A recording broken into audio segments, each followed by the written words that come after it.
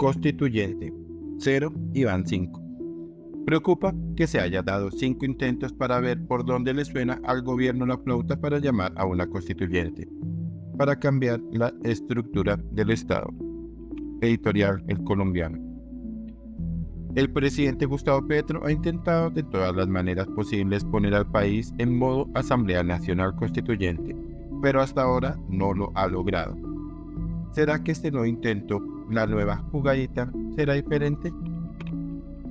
Recordemos que la primera vez que habló de convocar una constituyente fue el 15 de marzo, cuando tras una semana medio catastrófica para su gobierno, en la que se le hundió la reforma a la salud, decidió arrancar para Cali y allí, rodeado de sus más furibundos seguidores en Puerto Rellena, se quejó de que su gobierno no podía aplicar la constitución y que por ende Colombia tiene que ir a una asamblea nacional constituyente.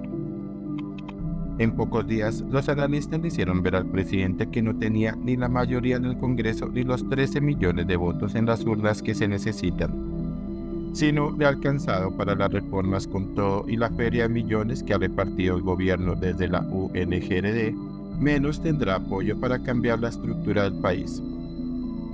El presidente se dio cuenta rápidamente de que por ahí no era la vuelta y comenzó a construir una narrativa del poder constituyente empezó a insistir en que el poder constituyente se convoca a sí mismo, que no necesita el Congreso.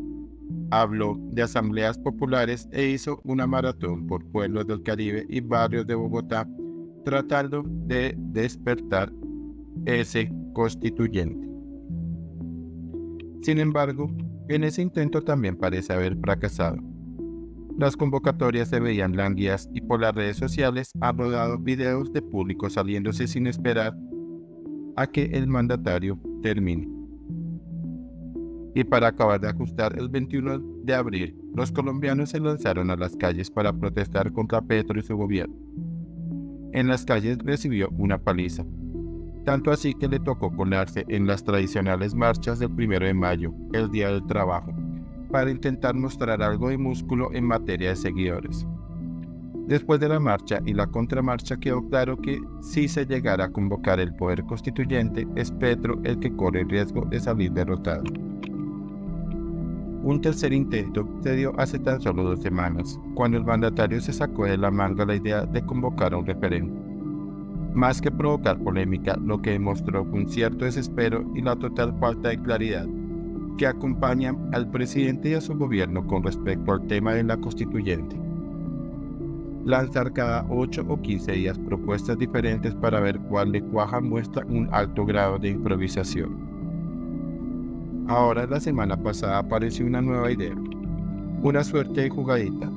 La destapó Álvaro Leiva, el recién salido de la Cancillería, quien con el acuerdo de paz con Gaspar en mano leyó un párrafo que, según él, permite hacer una constituyente.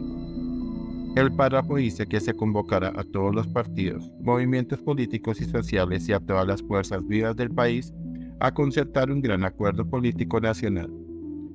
De inmediato, el negociador de la época Humberto de la Calle y el expresidente y premio Nobel Juan Manuel Santos salieron a frenarnos en seco. El uno dijo que la constituyente quedó descartada en ese entonces y el otro dijo que esa fue precisamente una de las líneas rojas del acuerdo. Y en lo que podría considerarse como un quinto intento, o tal vez va en la misma jugadita del anterior, el sábado se anunció que el gobierno y el ELN habrían llegado a un acuerdo sobre el primer punto de la agenda de negociación, que curiosamente hace referencia a un gran acuerdo nacional. Pues sin duda una sorpresa se logró tan de repente teniendo en cuenta que el proceso con el ELN venía haciendo agua, al punto de que esa guerrilla amenazó con volver a secuestrar. Este conato de constituyente también parece estar controlado porque Oti Patiño, comisionado de paz de Petro, saca un comunicado diciendo que todo se haría dentro de los límites de la actual constitución y lo acordado tendrá que pasar por el Congreso. Como si todo eso fuera poco, ayer entonces Petro se devolvió al primer intento y le pidió al Congreso que convoque una constituyente. Es preocupante que ya se hayan dado o se estén dando cinco intentos para ver por dónde les suena al gobierno la flauta para llamar a una constituyente. Es curioso que Gustavo Petro siga insistiendo en la idea a pesar de que tres de sus más comprometidos aliados, el senador Iván Cepeda, la actriz y tuitera Margarita Rosa Francisco y el expresidente Ernesto Samper, han dicho que no le caminan a una constituyente.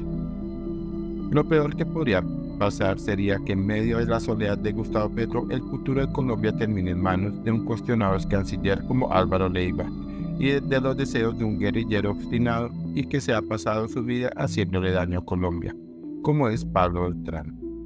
Y sobre todo que una constitución como la del 91, rica en derechos y en defensa de las minorías, termine hecha trizas por ello.